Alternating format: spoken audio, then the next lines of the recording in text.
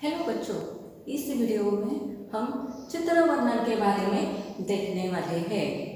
चित्र वर्णन को अंग्रेज़ी में क्या कहा जाता है?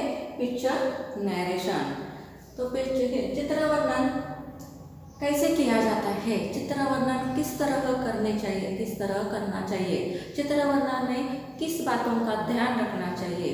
इन सब के बारे में अब हम इस वीडियो में सीखने वाले हैं। सबसे पहले कौन सा चित्र वर्णन में कौन सा शब्द दो गए हैं? एक है चित्र, दूसरा है वर्णन तो वर्णन किसे कहा जाता है? इसके बारे में सबसे पहले हम देखते हैं।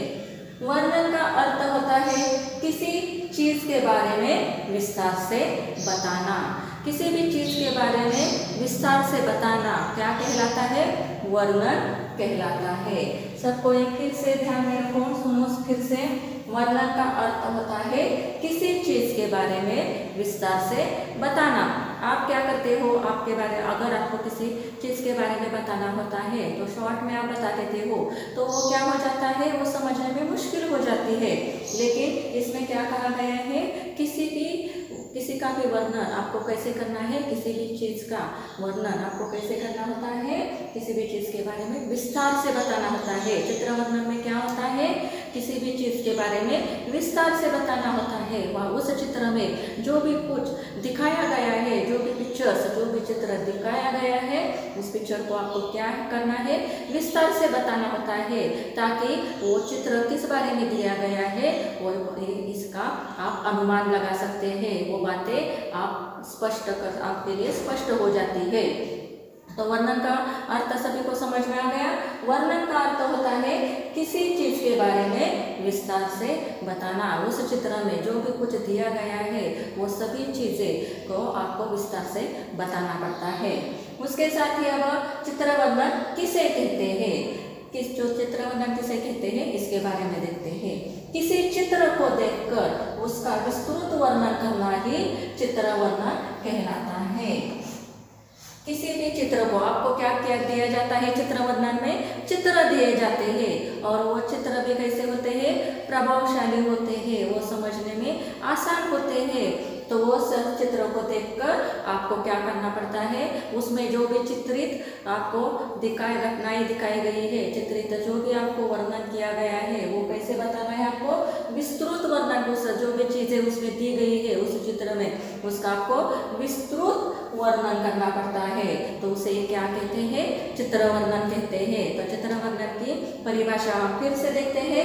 किसी चित्र को देखकर उसका विस्तृत वर्णन करना ही चित्र वर्णन कहलाता है। तो आपको क्या क्या दिया जाता है चित्र वर्णन में? चित्र दिए जाते हैं। उसमें किसी भी भाषा का उपयोग नहीं किया जाता है। सिर्फ़ वहाँ पर आपको पिक्चर्स दिखाई देते हैं और एक स्थान दिया जाता है और उस स्थान के पर अलग अलग चित्र चित्रित किए जाते हैं और उन चित्रों में अलग अलग चीज़ें होती है, उसमें अलग अलग बातें होती है। वो आपको क्या करनी पड़ती है?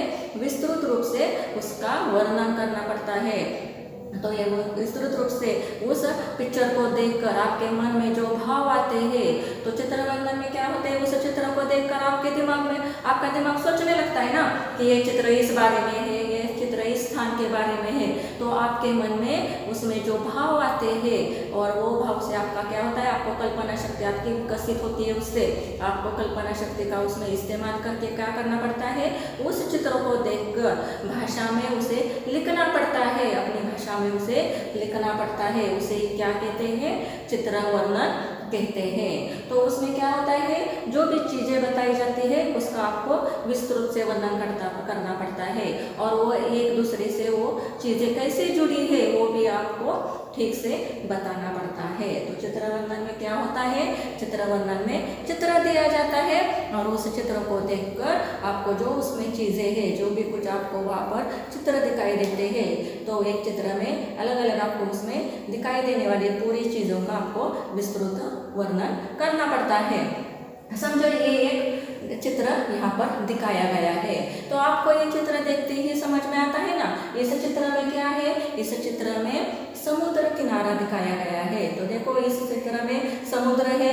समुद्र के किनारे पर कुछ बच्चे हैं, कुछ आदमी हैं, ऊँट है।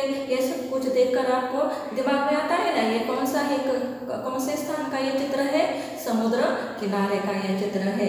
तो उसमें क्या है? ये समुद्र का किनारा है। आपको सबसे पहले क्या बताना है? उस स्थान के बारे में बताना कि यह कौन सा चित्र है? यह समुद्र किनारा का, समुद्र का किनारा है। और उस समुद्र के किनारे पर क्या है? समुद्र के किनारे पर कुछ बच्चे खेल रहे हैं। तो उसके साथ ही दो बच्चे क्या कर रहे दो बच्चे गेंद के साथ खेल रहे हैं। तो दो बच्चे और क्या कर रहे हैं? आइसक्रीम ले रहे हैं। एक गुब्बारा वाला है और उस गुब्बारे वाले के पास में एक लड़का खड़ा है। वैसे ही दो बच्चे क्या कर रहे हैं? ऊँट की सवारी कर रहे हैं। प्रायः देखा जाता है, समुद्र किनारे पर ऊँट की घोड़े की सवारी होती है। तो यहाँ इस चित्र में क्या दिखाया गया है? ऊँट की सवारी दिखाई गई है। तो आपको जो नीचे बैठे ये दो बच्चे हैं तो वो क्या कर रहे हैं? रेत से, रेत की जो बालू बालू है, उससे क्या कर रहे हैं? घर बना रहे हैं। तो आपको उसका आपने उसको नाम दिया तो चलेगा। रजत, सीता क्या बना रहे हैं? रेत के बालू से घर बना रहे हैं। तो इसमें इस पिक्चर में जो भी कुछ आपको दिखाई देता है, इसका आपको वर्णन करना होता है। समुद्र में आपको क्या दिखाई दे रहा है? समुद्र में नावें चल रही है। और क्या वो लहरें कैसे दिखाई दे रही है? वो लहरें भी आपको नज़र आती है ना? तो वहाँ पर वो लहरें, समुद्र में लहरें उमड़ रही है। उसके साथ ही क्या दिखाई दे रहा है? पीछे देखो, समुद्र में सूरज डूबता दिखाई दे रहा है ना? तो वो भी आपको ठीक तरह से देखकर वो लिखना है है समुद्र में सो है सूरज डूब रहा है। उसके साथ ही कुछ पंछी ऊपर उड़ रहे हैं ना समुद्र के ऊपर। वहाँ पर वे भी आपको लिखना है। कि वहाँ पर कुछ पंछी आसमान में उड़ रहे हैं। तो देखो, यहाँ पर इस चित्र में जो भी कुछ चित्रित किया गया है, उसके बारे में मैंने बताया ना। तो इससे आपके क्या हो गया, ये जो मेरे मन में जो ख्याल आए थे, वो मैंने बताए हैं। वैसे ही आपको इस वो जो आपके मन में ख्याल है और उस चित्र में जो भी चित्रित बातें हैं, उसका मेल होना चाहिए। उसके, उससे अलग आपको कुछ भी नहीं लिखना चाहिए। उसका मेल होना चाहिए। जो भी कुछ बातें होती है, वो आपको क्या करना है? मन में आपके जो भाव आते हैं, उससे आपका क्या होता है? कल्पना शक्ति का विकास होता है और उसके साथ ही आपकी अवलोकन क्षमता बढ़ती है। क्या बढ़ती है बच्चों? आपकी अवलोकन क्षमता बढ़ती है। आपका ऑब्जर्वेशन निरीक्षण कैसा है?